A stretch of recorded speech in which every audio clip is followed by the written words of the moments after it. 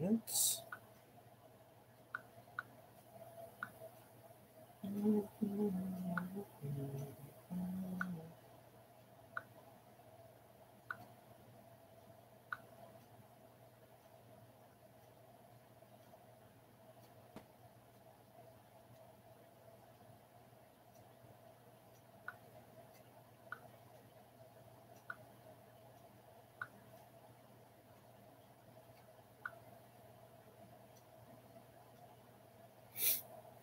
All right, we are ready. We are ready.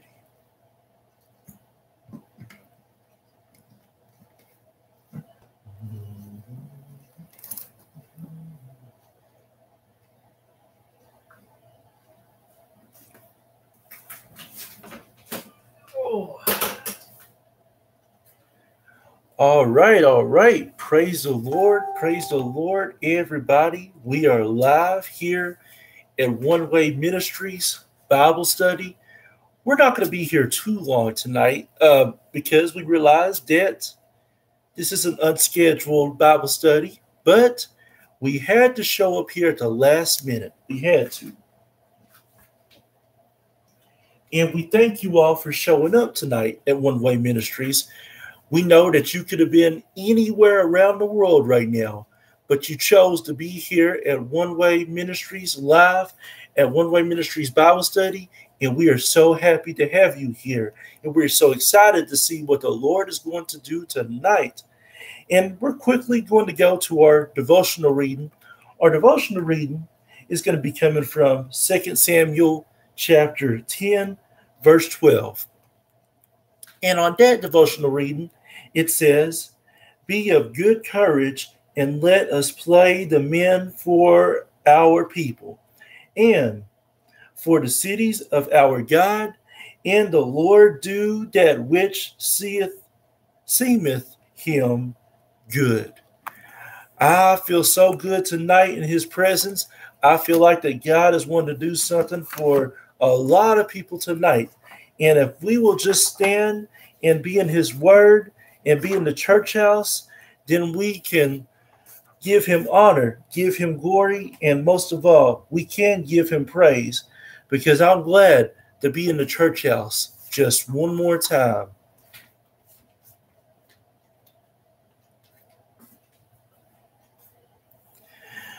One more time, Lord, one more time. One more time, Lord, one more time. Lord, I'm glad to be in the church house one more time. One more time, Lord, one more time. One more time, Lord, one more time. Lord, I'm glad to be in the church house one more time. I'm so glad to be in church today, worshiping my Lord and Savior Jesus. I'm glad to be in the church house, get to read my Bible and study and pray. I'm glad to be in the church house. Just one more time, Lord, one more time. I'm happy to see everybody virtually and in person. One more time, Lord, one more time. One more time, Lord, one more time. Lord, I'm glad to be in the church house one more time. One more time, Lord. One more time.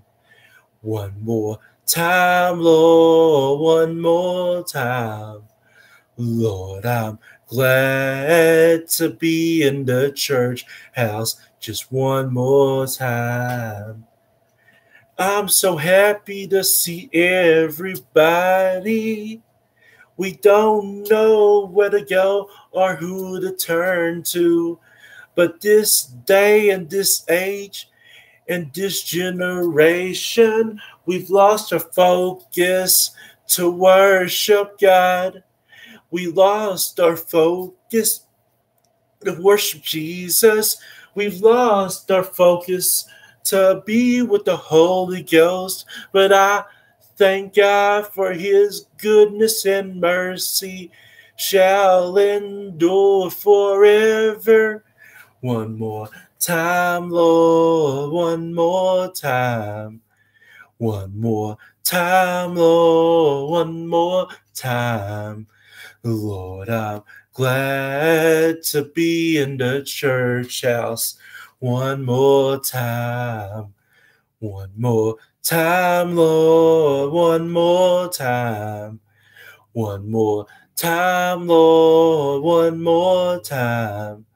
Lord, I'm glad to be in the church house one more time. I'm so happy for Jesus Christ dying and sacrificing his life for everybody. I thank God for Jesus Christ for giving us a second chance in life. I thank my Lord and Savior Jesus Christ for allowing me to repent and be reborn again. Without Jesus dying for our lives, we would be lost, but we get a second chance in life. One more time, one more time, Lord, one more time. Lord, I'm glad to be in the church house just one more time. One more time, Lord, one more time. One more time, Lord, one more time. Lord, I'm glad to be in the church house one more time.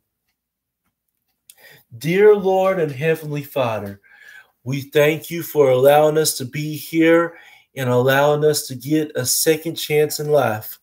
Lord God, without your without you, without your son dying for our sins, without him sacrificing his life, that we can get a second chance in life, we would not be able to go into the floodgates of heaven. But Lord, I thank you for you, for your son Jesus, and your precious Holy Ghost. All three of them in a mix together.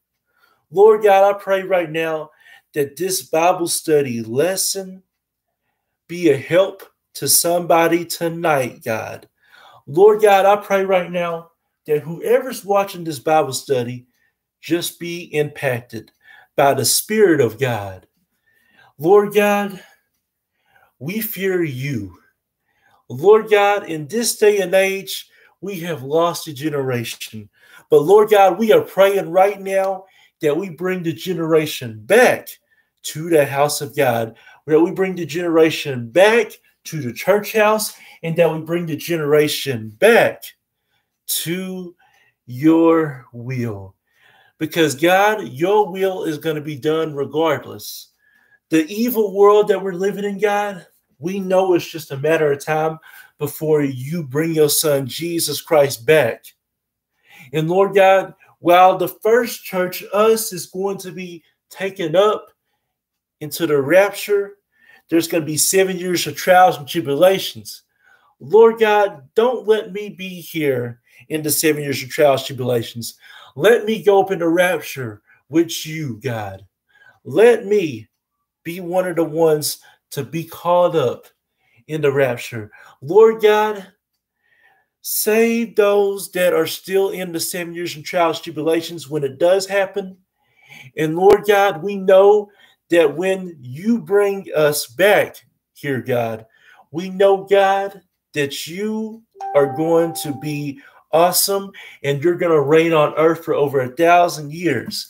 And there ain't a thing that the devil can do about it. I pray, God, right now that you just touch everybody in the hospital, touch everybody in the jail cell, bless everybody all around the world. Bless those that are trying to be legal in the United States. Bless those that are trying to be legal in other countries.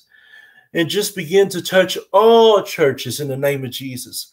Lord God, this holy convocation that you're going to have next month at KCC, Kingdom City Church in Charlotte, North Carolina, and Full Gospel Holy Temple at Apostle Mary's Church in Dallas, Texas. Lord God, let these two holy conventions be impactful. Let the holy conventions be worldwide and noticed all around the world.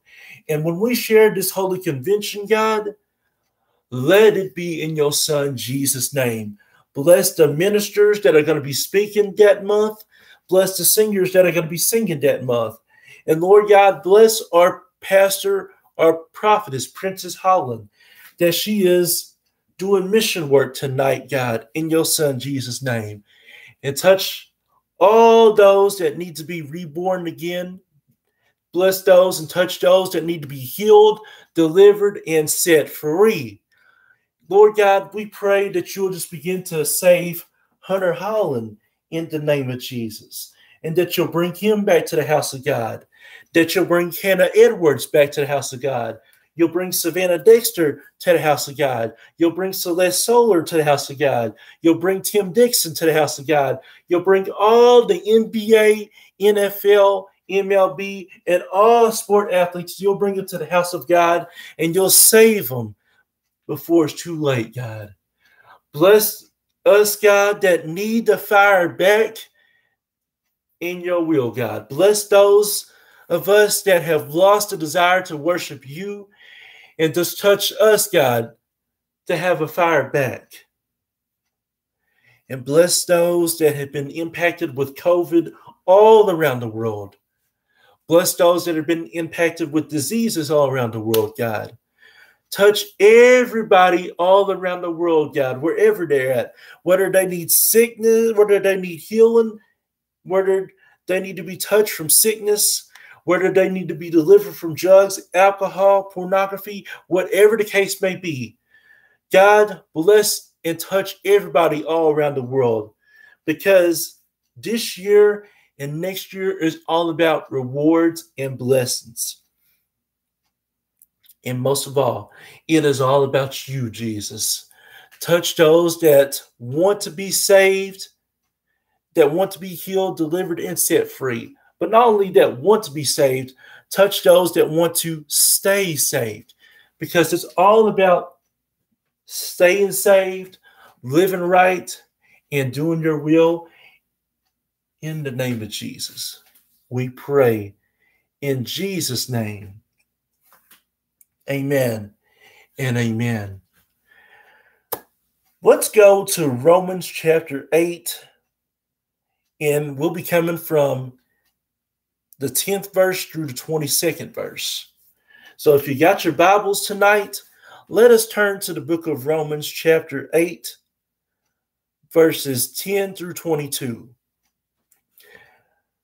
We're going to make a couple announcements while you're getting that book of the Bible turned for the thousands and millions watching all around the world. We are in a live broadcast with over billions of people watching around the world. And we are so happy for all the billions and millions of people that are watching all around the world in the name of Jesus.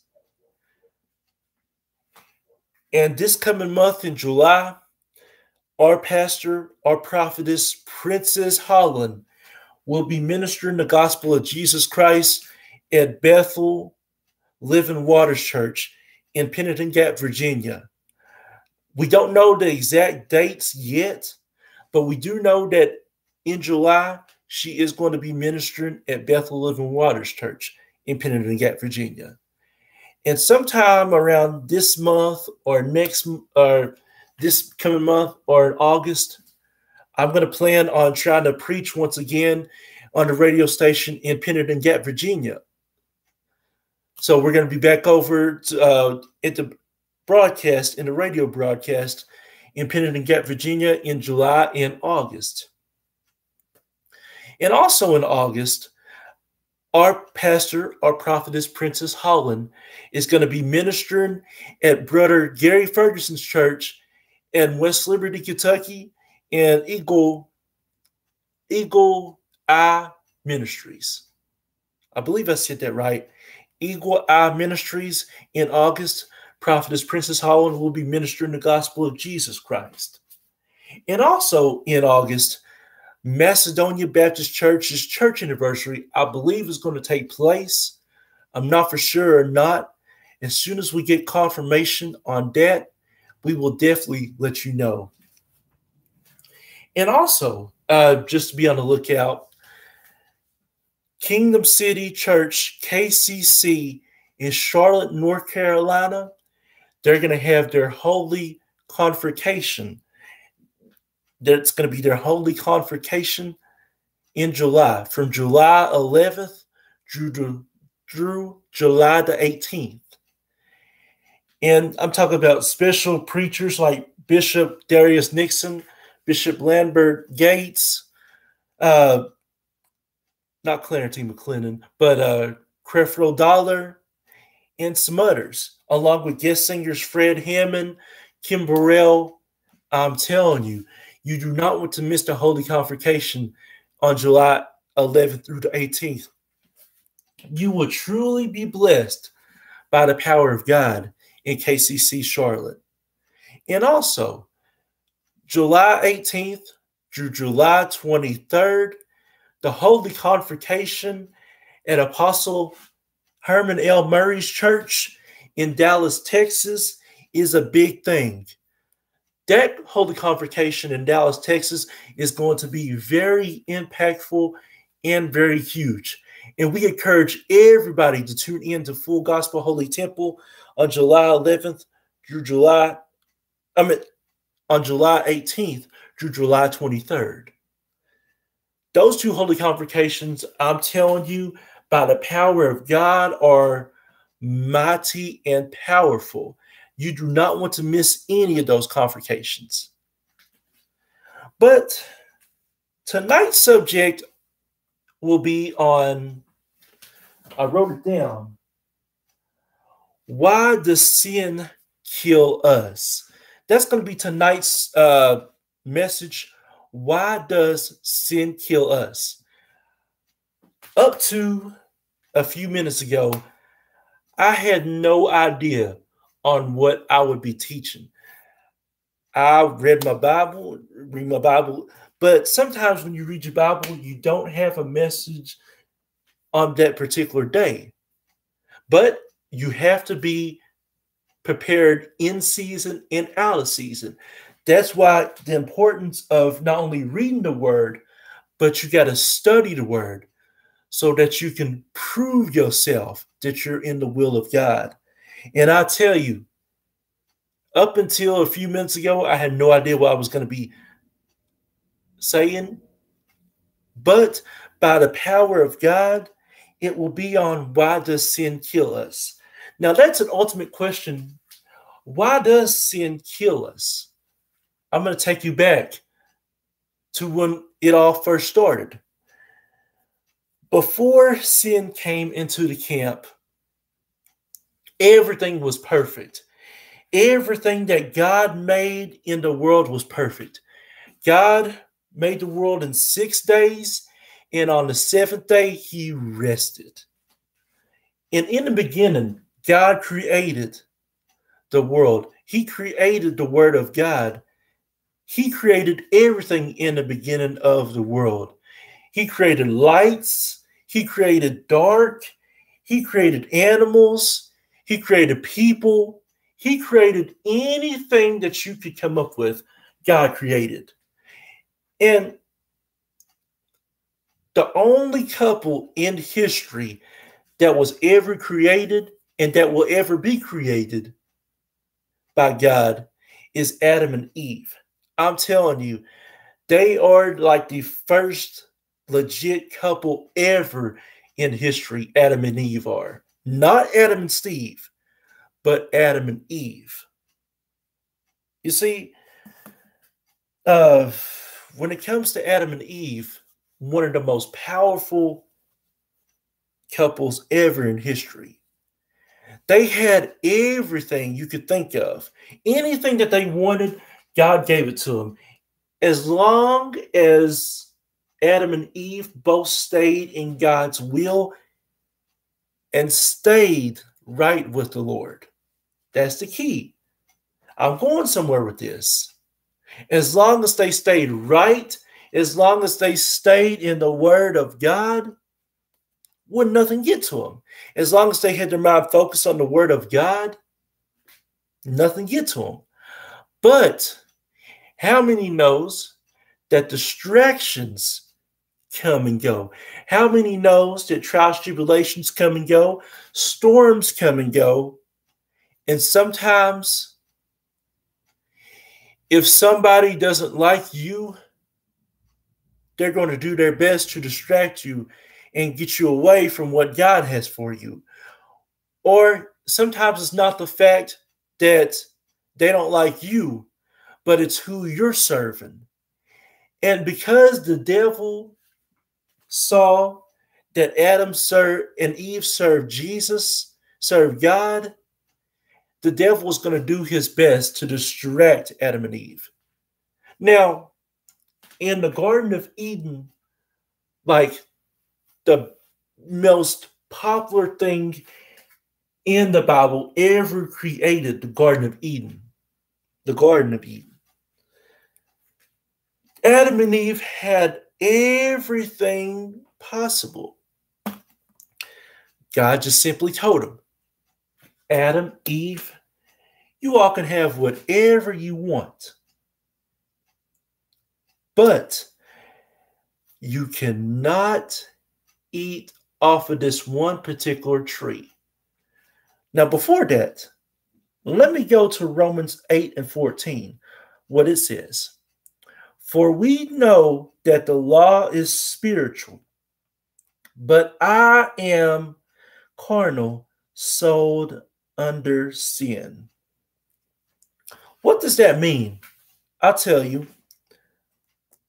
We know that in God's world that when you serve Jesus, when you go out, out for Jesus, that the law is spiritual. It didn't say that the law was physical or that the law is emotional or that the law is mental it said that the law is spiritual, but I am carnal, sold under sin. It's because where we was born into sin that we have to repent, that we have to ask for forgiveness, and we have to ask for Jesus to come into our life. Now, the only person that doesn't know right from wrong would be little bitty babies because they don't know better. They don't know what is right from wrong. I'm talking about little bitty babies that are just being born and that are like under three and under. Now, once you teach that baby once you teach the child growing up of what is right and wrong, then that's when they are responsible for their own soul and salvation. You see, once you know the difference between right and wrong, then you know not to do it. But because God made the law spiritual, we want to turn the law into physical, emotional, and mental. You see, we want the gifts of God, we want the talents of God, we want to do everything like God does, but we don't want to fall in the spiritual part of the law. We don't want to follow God's rules. And that's where we get into a lot of trouble. That's what I was talking about with Adam and Eve. You see, they had anything they wanted to eat and drink. They could not eat from the tree of knowledge. That's the only tree that God told him not to eat off of. And with the tree of knowledge, oh, that devil, he knows how to twist words around. He knows how to make everything sound good. I can imagine the devil going up to Adam and Eve and saying, you know, God's God's, you know how God is. You know, God is just God is cool. Uh, hey, God is awesome. But he really don't mean that you don't have to eat from the tree of knowledge. You know what that actually means? That actually means that he don't want you to be smarter than him. You see, if you eat from the tree of knowledge, then you'll be smarter than God. Then you'll know what God thinks, you'll know what God says, you know what God's going to do. And God don't want you to be like him, you know. So go ahead, eat from the tree of knowledge. Get yourself some good knowledge. Be smart. You see, the devil knows how to twist and turn words. And this is how you've got to know the difference between the spirit from not the spirit. You've got to know the difference between good and bad. You've got to know the difference between the anointing versus somebody who has it. You've got to know the difference between someone who just doesn't really care versus someone who has passion, who has heart. And the devil was convincing Adam and Eve. Come on, come on, go ahead. The devil was convincing Eve. You know, go ahead, eat that.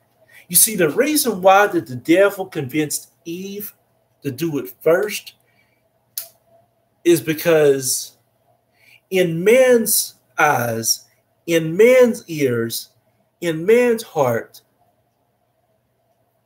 we are typically supposed to be better than women. We are supposed to be stronger than women. That's what a man's eyes sees.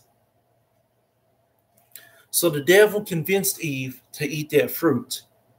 So Eve ate the fruit.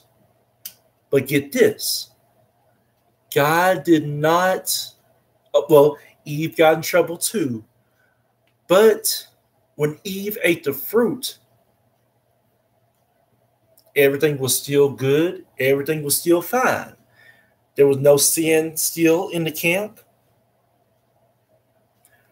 But, and here's a big but Adam comes along. I can see Adam saying to Eve, Eve, what you doing? You see, what Adam really should have done is Adam should have said to Eve, Hey, whoa, stop. Stop, Eve. Stop, Eve. Eve, I love you. We can't eat from the tree of knowledge. You know what God said. That ain't nothing but the devil trying to distract us. And you know, the devil has all kinds of ways to distract you when you're doing God's word and God's will. You see, the devil will do his best to discourage you when you're doing your absolute best for Jesus Christ. When you do your absolute best for Jesus Christ, or the devil don't like it when you serve Jesus. The devil don't like it when you go all out for Jesus. Why?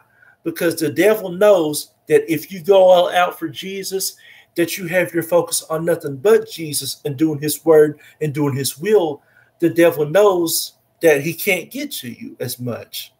So the devil's going to do his best to throw all kinds of curveballs and distractions. So, like I said, Adam really should have told Eve, no, we can't do this. But you know, us men, if we see a woman do something or you know we got to feel sorry for our women we got to be there for our women and fight for our women and protect our women. So you know we're going to be we're going to just go along with it. So eve i believe eve said to adam hey i ate this fruit. Hey it's real good. You ought to try it I believe that if Adam would have said, No, I can't do it, I will not do it. And you've got to put that fruit down because that fruit is going to hurt us. But in mom's preference, Adam, with his dumb self, he got the fruit. And I could just imagine God shaking his head, like, no, don't do it. Don't do it. And I could see Adam getting ready to put a big bite in his mouth. And as soon as he tasted that fruit, the perfect world that we lived, that we had, the perfect things that we had are no more. Because once Adam ate that fruit, it was all that was all it. And you know, the only two people that have a real that had a real strong connection with God, besides the Holy Ghost, of course, the only two people that have a strong connection with God is Jesus, because Jesus is God's son, and Adam. Adam. Adam had a strong connection with God? Yes, he did. Why? Because Adam was the first man ever created on earth. And because of that, God would always have a strong connection with Adam. But when Adam ate that fruit, here goes Adam and Eve. Oh Lord, we gotta run, we gotta run, we gotta go, we gotta go, we gotta go. Oh no, no, no, no, no, no, no, no, no, I'm not getting caught, not getting caught, not getting caught. And you could just see them just covering up and everything. And God's like, Where you at, Adam?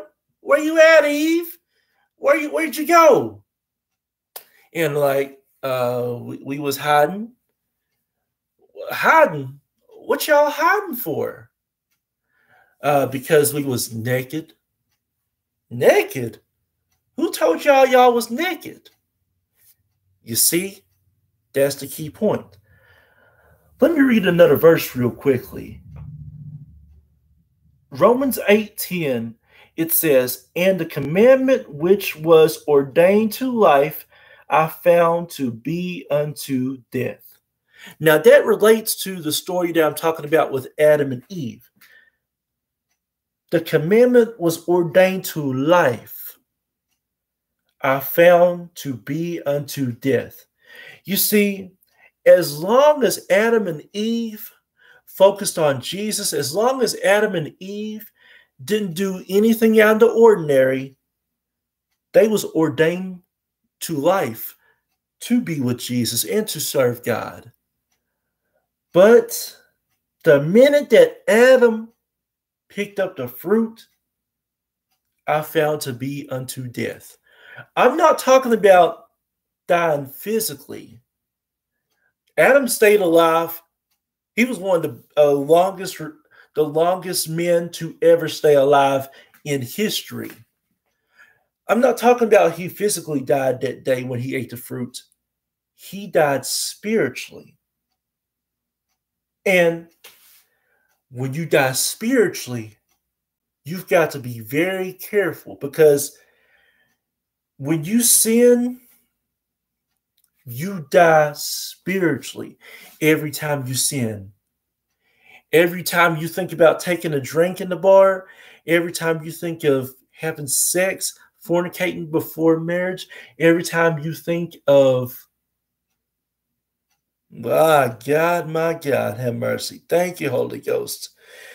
Every time you think of gossiping, Every time you think of blaspheming the Holy Ghost, every time you think of not obeying your parents, every time you think of cussing somebody out, lying, stealing, cheating, don't you know that you die daily in the spirit?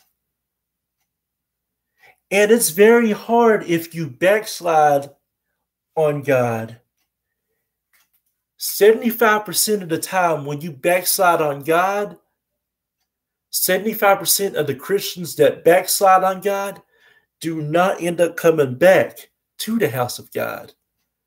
But that 25% that backslide and come back to the house of God and come back stronger than ever, I definitely thank God for them because they keep on fighting and they keep on praying until they get it right.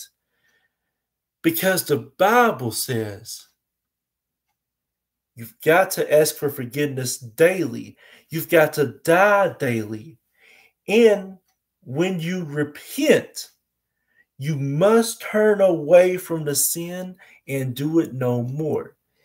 It's one thing to ask for forgiveness and feel sorry for yourself, but it's another thing to repent and turn away from it and do it no more.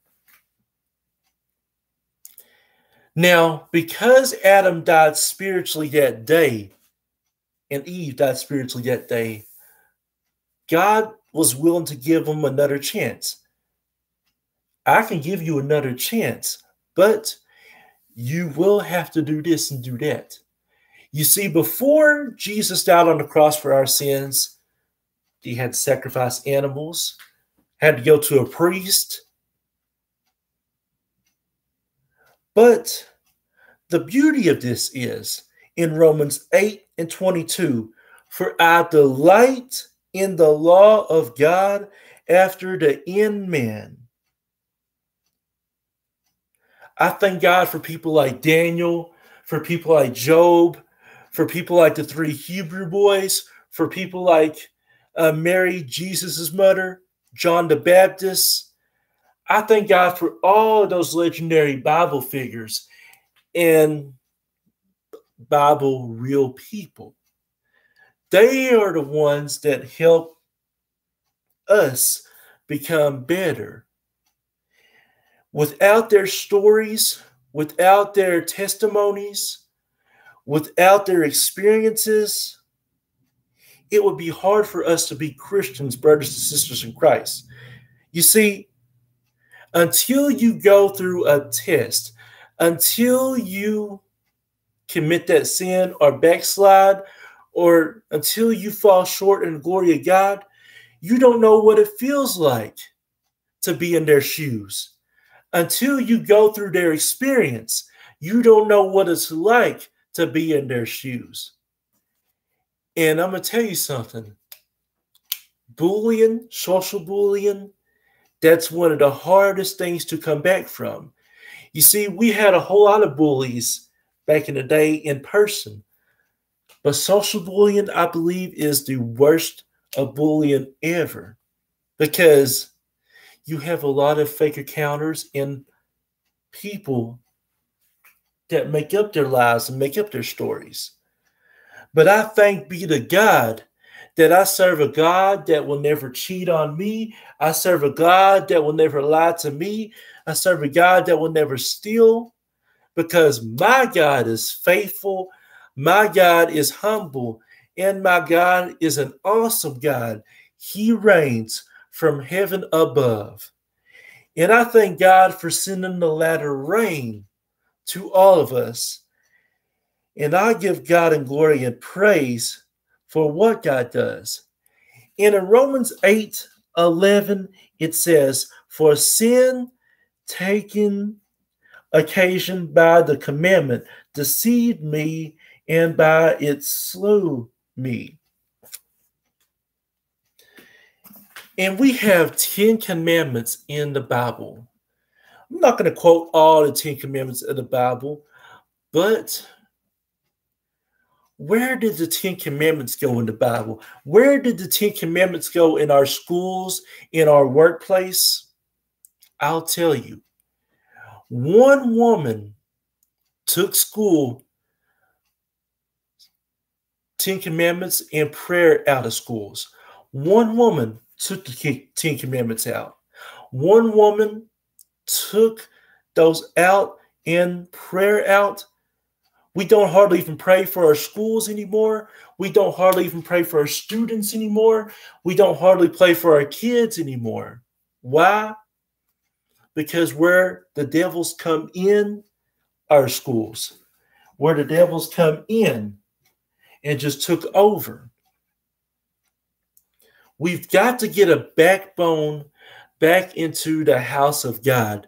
We've got to get an understanding on why Jesus wants us to serve him at all times. Because sin is dangerous, sin is a habit, and sin will take you down places where you don't ever want to go or where you thought you'd never go before. Sin will take you to the point where it'll get you up at night thinking more than sleeping. Sin will take you to the point where you actually want to do the action rather than not do the action. And I'm going to tell you something, Lord have mercy. I may get in trouble for this, but it is worth saying. We want to take away Black history, but we'll allow lesbians and all that to be taught in the Word. It's sad, but it's the truth, and we need Jesus in our lives.